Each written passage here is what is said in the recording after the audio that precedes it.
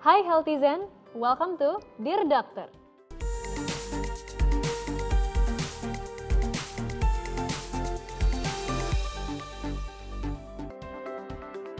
Saya Dr. Clarin Hayes yang berjaga akan menjawab konsultasik Healthizen kali ini. Sebelum saya jawab daftar konsultasik yang sudah antri untuk episode kali ini, saya mau tanya dulu nih, kalian udah pada nonton episode Dear Dokter sebelumnya belum? Karena udah beragam konsultasik yang saya jawab loh. Saya harap bisa menambah pengetahuan kalian semua dari sisi medis dalam menghadapi pandemi ini. Nggak usah lama-lama, langsung aja saya buka konsultasik yang sudah masuk datangnya dari Twitter dan Instagram berikut. Oke, konsultasik pertama datang dari akun @gloria89. Pertanyaannya adalah, "Dokter, boleh share dong tips aman saat naik Transjakarta atau MRT atau KRL? Kalau saya sentuh pegangannya di saat berdiri di kendaraan, apakah saya bisa tertular COVID? Bagaimana dengan taksi online? Kan orang gonta-ganti duduk di tempat yang sama." Oke, Dear Gloria 89. Jadi jangan lupa mencuci tangan ya sebelum dan setelah menaiki kereta dan kendaraan umum lainnya. Saat naik taksi online juga pastikan prokesnya. Gunakan taksi yang memang sudah ada standar prokesnya. Seperti kalian bisa disinfeksi bangku dengan disinfektan, itu juga boleh. Tapi lebih penting untuk cuci tangan sebelum dan setelah naik kendaraan umum. Dan pastikan kalian tidak mengucek mata selama di kendaraan ya. Oke, konsultasi asyik atau konsultasi selanjutnya datang dari Andrian Los. Dokter, saya punya kucing di rumah. Apakah kucing saya bisa menularkan virus COVID kalau dia habis main di luar rumah? Dear Andrian, memang ada bukti sejumlah kecil hewan peliharaan di seluruh dunia, termasuk kucing dan anjing, dilaporkan terinfeksi virus penyebab COVID-19. Sebagian besar setelah kontak dekat dengan penderita COVID-19. Berdasarkan informasi yang tersedia hingga saat ini, resiko hewan menyebarkan COVID-19 ke manusia dianggap rendah. Virus yang dapat menyebabkan COVID-19 justru menyebar dari manusia ke hewan, termasuk hewan peliharaan dalam beberapa situasi, terutama setelah kontak erat. Sebaiknya, kalau seseorang ada dalam rumah sakit, pisahkan orang itu dari orang lain, termasuk hewan peliharaan dan hewan lainnya. Dan sama seperti manusia, sebaiknya hindari dulu grooming di luar. Kalau kalian sakit atau hewan peliharaan kalian tampak sakit, isolasikan terlebih dahulu. Bawa ke dokter hewan bila mengkhawatirkan. Hewan tidak perlu pakai masker ya, tapi kita yang harus pakai masker saat mau kontak dengan hewan sakit. Nggak perlu juga mendisinfeksi bulu hewan ataupun bulu kucing, karena belum ada penularan di bulu. Jadi yang perlu didisinfeksi adalah tempat makannya, kandangnya, dan mainannya, bukan hewannya. Kasihan hewan peliharaannya. Oke, konsultasi selanjutnya datang dari Bella. Yuk kita tonton dulu videonya.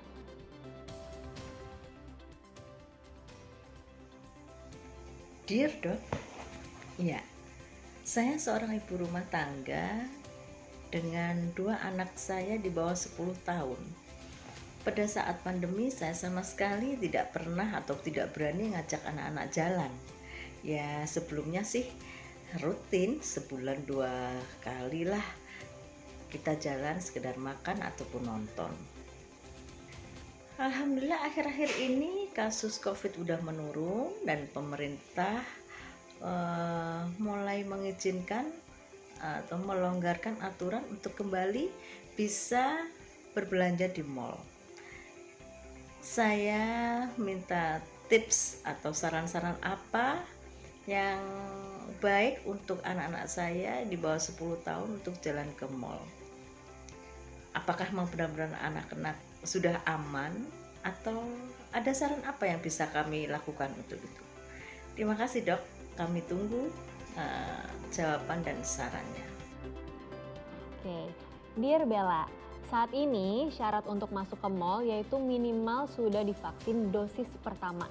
Ini adalah salah satu usaha untuk lebih menjaga keamanan saat berada di tempat publik. Bila ingin ke mall, walaupun sudah divaksin, harus tetap laksanakan prokes ya. Jaga jarak ketika sedang berjalan, tetap gunakan masker, mencuci tangan sebelum makan, menghindari kerumunan, dan membatasi interaksi sosial.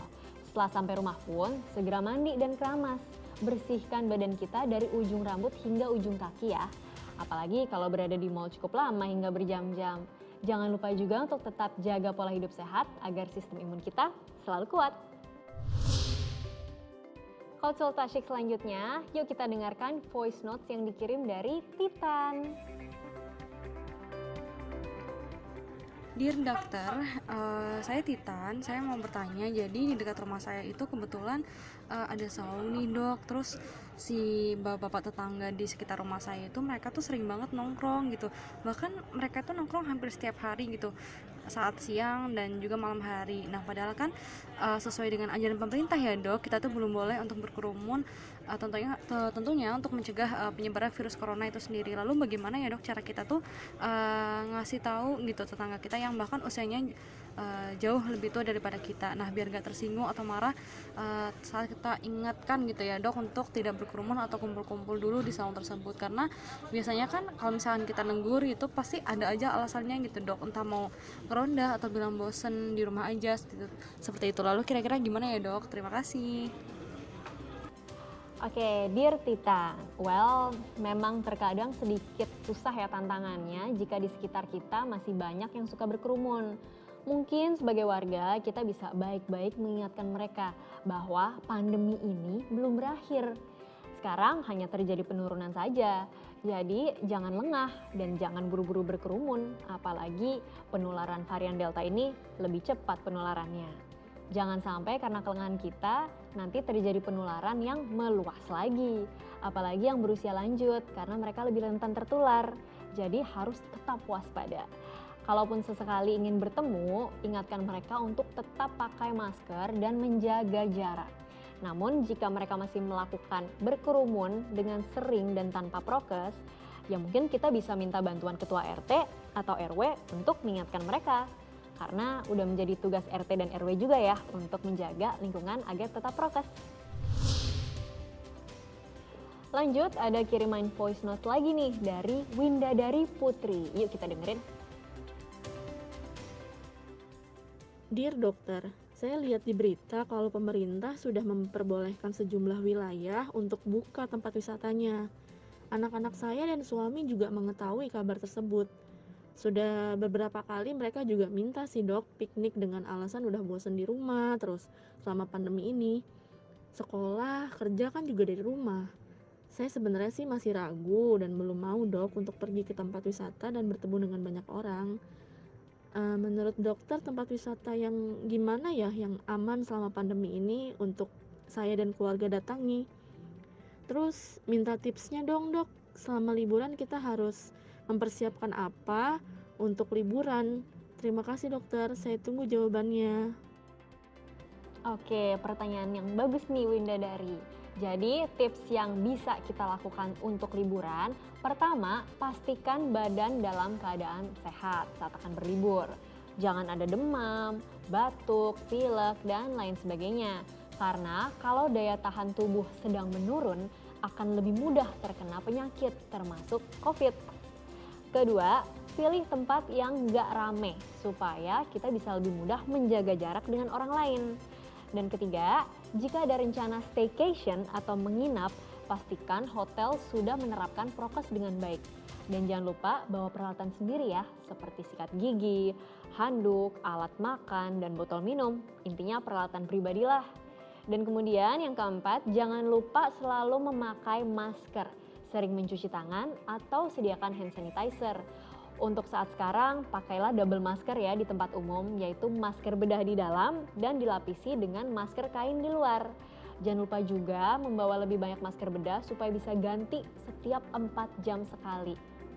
Atau kalau udah basah, anak-anak juga harus memakai masker loh, bukan cuma orang tuanya ya. Sekarang konsultasi dari Kucing Dapur 32. Dear Doctor, Benar nggak sih ibu hamil bisa menularkan COVID secara vertikal dari ibu ke janin? Oke, jadi dir kucing dapur begini ya. sudah ada laporan terbaru yang mengatakan bahwa terdapat transmisi vertikal antara ibu dan janin sebesar 2 hingga 3 persen. Walaupun belum diketahui secara pasti rute transmisinya.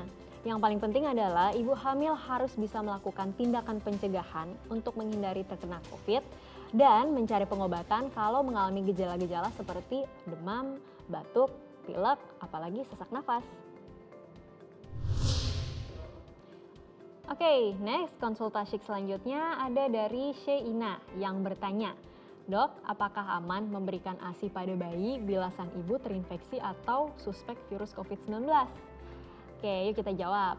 Dear Sheina, sampai saat ini belum ada studi yang mengatakan bahwa virus COVID menular melalui ibu yang positif COVID dan menyusui ASI. Jadi ibu positif COVID gejala ringan boleh menyusui langsung dengan prokes dan hygiene yang ketat seperti tetap gunakan masker, hindari berbicara, maupun kegiatan lain yang berpotensi mengeluarkan droplet saat sedang menyusui. Cara lain yaitu dengan memompa ASI, yaitu pumping.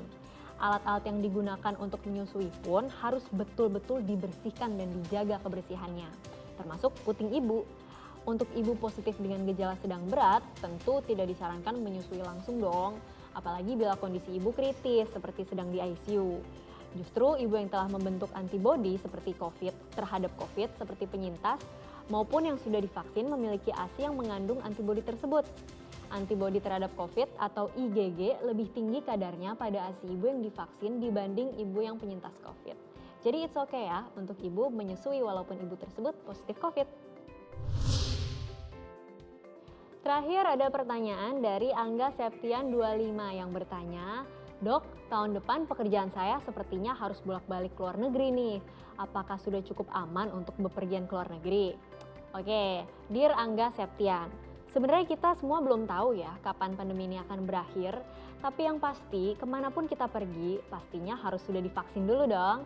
Dan dengan transportasi apa pun kamu bepergian, harus tetap terapkan prokes, yaitu gunakan masker, mencuci tangan, menjaga jarak, hindari kerumunan, dan membatasi interaksi sosial. Oke? Okay? Udah semua?